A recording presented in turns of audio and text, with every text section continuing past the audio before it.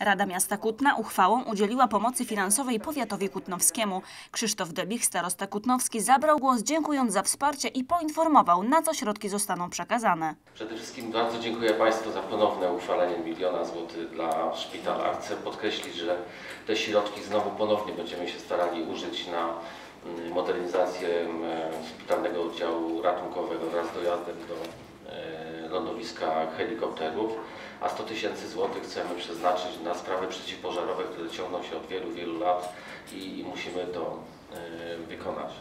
W zeszłym roku nie udało nam się pozyskać środków zewnętrznych, ale naprawdę Wasz sprzęt był bardzo potrzebny. Mogliśmy uzupełnić go w różnym zakresie na różnych e, oddziałach i dzięki temu jakość świadczonych usług się e, e, polepszyła. Krzysztof Debich uprzedził prezydenta i Radę Miasta Kutna o ponownym zamiarze ubiegania się o środki na SOR, a jeśli znów się nie uda, o przekazaniu informacji o zmianie przeznaczenia przyznanego miliona złotych z budżetu miasta Kutna.